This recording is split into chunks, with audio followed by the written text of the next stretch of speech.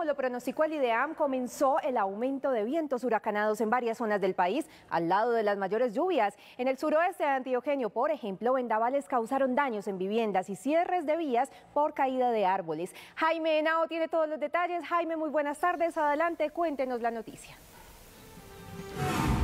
Compañeros televidentes, muy buenas tardes. Llegué hasta el Centro Educativo Rural Travesía, cercano a los límites entre Támesis y Caramanta.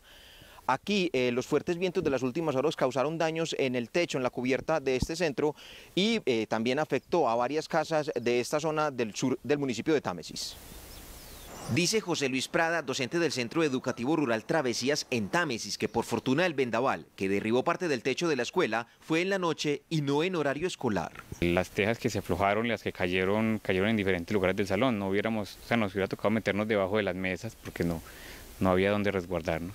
Los daños en viviendas y cultivos se dieron principalmente en la zona cercana al corregimiento de San Pablo. Resultando afectadas alrededor de 30 viviendas, eh, mucho daño en marquesinas, afectación de cultivos como pancoger y cultivos de plátano y café. Y es que según el IDEAM, las lluvias apenas comienzan y los vientos aumentarán por la llegada en el mes de junio de la temporada de huracanes y ciclones a la costa caribe colombiana, que influencian el clima en la zona andina.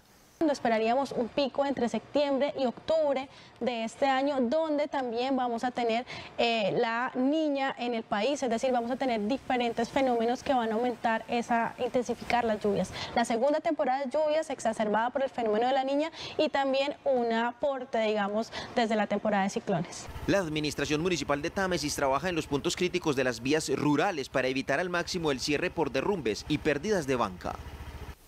La vía que comunica desde La Pintada hacia los municipios de Támesis, Valparaíso y Caramanta también resultó afectada por caída de árboles, pero ya se encuentra habilitada. Desde Támesis, Jaime Henao Restrepo, porque en Teleantioquia Noticias, la región se siente.